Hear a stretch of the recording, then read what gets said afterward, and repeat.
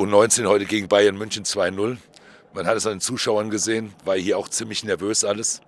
Wir bleiben da, wo wir hingehören. Wir bleiben in der U19-Bundesliga und deshalb bin ich auch sehr froh und auch glücklich.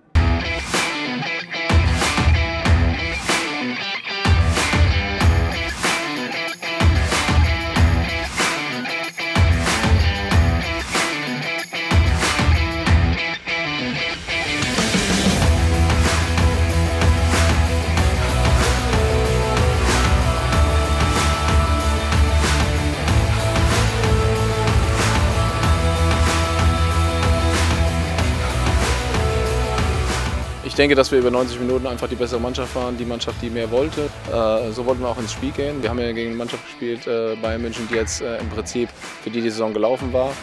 Und da muss man natürlich so auftreten, ja? kämpferischer sein, aggressiver sein, äh, laufstärker sein. Und äh, von daher äh, muss ich wirklich der Mannschaft ein großes Kompliment machen. Das haben sie alles umgesetzt. Ähm, zusätzlich waren ein paar schöne Spielzüge noch dabei.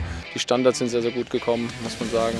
Dadurch sind wir auch in Führung gegangen und dass dann elf Meter dazu führt, dass wir dann das 2-0 machen. Äh, das ist natürlich auch schön. Aber ich denke, aus dem Spiel heraus hätten wir auch ein, Tor noch verdient gehabt. Wir haben eine, eine Saison gehabt, die wirklich, da war alles, alles mit drin und war sehr, sehr schwierig, muss ich sagen. Und deswegen äh, ja, ist jetzt zwar Erleichterung zu spüren, aber so diese grundsätzliche Freude, die wird heute Abend kommen. Und das ist manchmal wirklich so,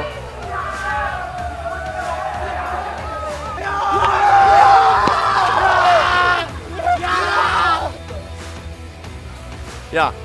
Wo schicken Sie, weil ich weiß es nicht.